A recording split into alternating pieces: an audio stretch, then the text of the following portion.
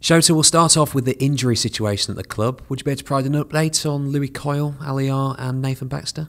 Mm, yes, they're still injured and uh, not ready yet. How far away are those three? I think uh, we still need a week to see how good they are. Any other injuries from Tuesday night's match? Not really, not really, just heavy legs like normal. A clean sheet against Sheffield United. How pleased were you with the defensive efforts of the team? Uh, general was very, very good game. The defensive very hard and work very hard.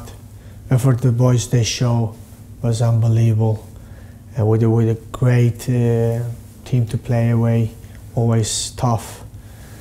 Uh, with with supporters and, and, and uh, last run if you see them uh, playing also very good so I was very pleased to have a point and uh, and get a get a looking for further for the coming games. You were disappointed after Derby. How impressed have you been with the response against Fulham and Sheffield United?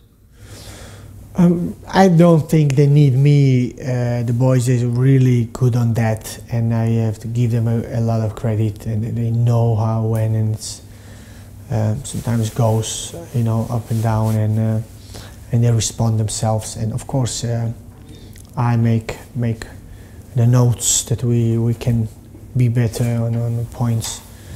I look we can really improve. So uh, it was a good reaction, and, and, and I hope to continue that. What have you made of the spirit in the dressing room? It was unbelievable, and uh, in half time, in the beginning of the game, end of the game, it's something uh, you can build a lot on it. Brandon Fleming has caught the eye with his recent performances. How impressed have you been with, with his displays? I'm happy. I'm happy the boy do do, do well. So uh, he's playing. He's doing well, as I I am expect from the others as well. So that's normal when uh, when players show good performance. They, they, train very hard. They train every day. They play three games in seven days.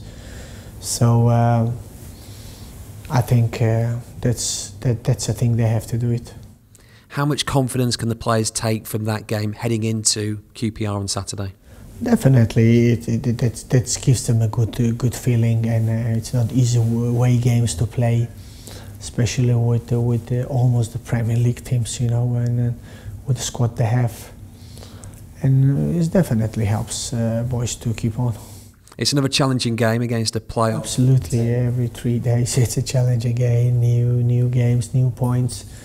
So it never stops, looks like. But uh, that's that's why they all love football. That's why they, they work so hard. What have you made of QPR as a team?